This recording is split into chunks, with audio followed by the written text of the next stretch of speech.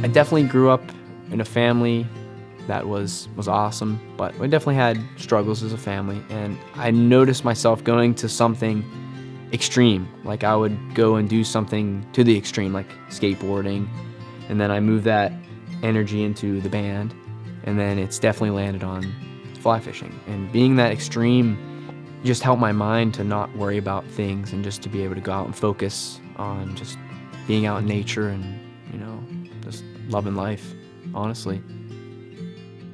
I was never good at sports. I was never good at anything like that. And this fly fishing you will never stop learning. I mean at least you shouldn't stop learning because there's so much out there to keep growing your skill and the knowledge and the, the bug life and just streams.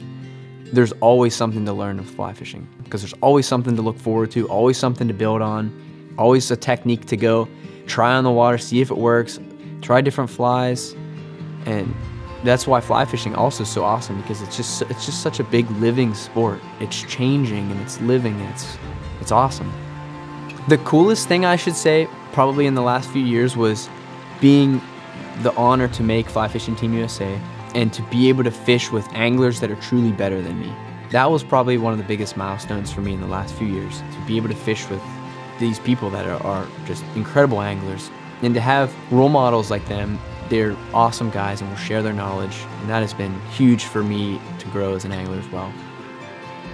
I've been in many countries fishing, like South America and a, a lot over Europe and all over the country. And I wouldn't have been able to do that if it wasn't for the fish. You know, I wouldn't have gotten to see those places and have those awesome memories and, and meet those awesome people. I mean, I fish with world champions and it's invaluable information and being a competitor and being someone who is trying to grow my knowledge and stuff I, I would compete and that would get me to, to those destinations. And it's not just about the competing and, and doing well it's more about the learning and just, just going to cool places.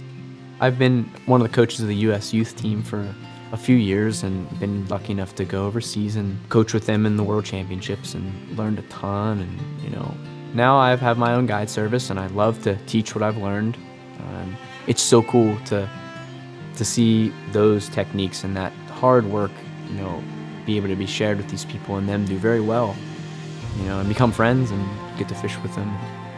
Nothing in life I've ever experienced takes everything away. Like every every moment, every sadness, every anything the, the world can be crashing down around you honestly. And I'm just out there just focusing on that, you know, making the cast, catching the fish, and that's that's honestly like what has gotten me to love it so much. And the older I get, that's still a big motivator, but sharing that knowledge I've learned is is definitely you know what drives me to do it every day. I just I just love it and to see the people people succeed at it